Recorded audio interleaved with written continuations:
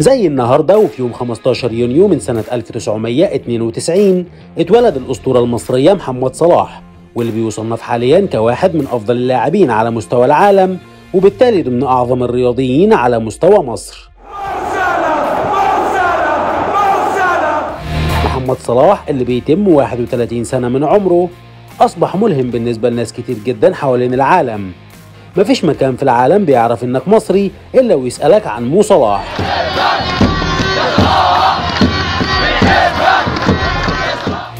خروج صلاح من مصر في سنة 2013 كان بداية رحلة كفاح كبيرة وخلال العشر سنين الأخيرة اتغير محمد صلاح بشكل كامل سواء على المستوى البدني أو حتى على مستوى التفكير وده اللي أثر بشكل كبير على قراراته داخل الملعب. وخلاه واحد من أعظم اللاعبين في تاريخ نادي عريق زي ليفربول وفي عدد سنوات أقل بكتير من غيره من اللاعبين. خلينا نبدأ بالمستوى البدني. محمد صلاح اتحول تماما من لاعب بجسم هزيل في فترة وجوده مع بازل وبعده تشيلسي عشان يظهر كوحش كاسر مع ليفربول. وده طبعا بعد ما مر بمراحل تطور سواء مع فيورنتينا أو روما في إيطاليا. وهو المكان اللي قال فيه صلاح أنا لازم أتغير. التزم صلاح بنظام غذائي صارم وواظب على ممارسة تمرينات قوية عشان يحول جسمه لكتلة من العضلات وده اللي خلاه صحف العالم توصفه بالوحش.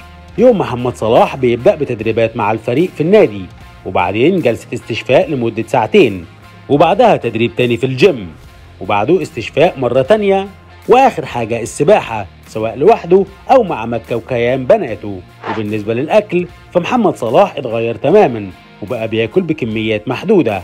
وجميع وجباته خالية من الدهون الغير صحية والسعرات الحرارية في الوجبات محسوبة بعناية في نظام غذائي مناسب لنمط حياته. واتكلم صلاح عن النظام الغذائي اليومي وقال بحب عامة سلطة آكل سلطة معاها أي حاجة سمك أو فراخ. أيوه. وممكن ماشي. جنبها شوية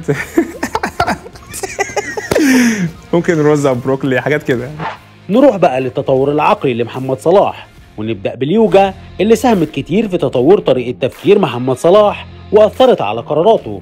وشفناه بيحتفل أكتر من مرة بأهدافه بحركات اليوجا وهي رياضة هندية في الأصل وبتعتمد على بعض الأوضاع والحركات المستخدمة في التأمل للوصول للسلام النفسي والتحرر الروحي وتقليل مستويات التوتر والضغط والإجهاد الذهني. على مستوى القراية محمد صلاح ظهر أكتر من مرة وهو بيقرأ كتب ومن أبرز الكتب اللي ظهر صلاح وهو بيقراها كتاب صباح استثنائي كل يوم لديمون زهريادس واللي بينتمي لنوعية كتب التنمية البشرية.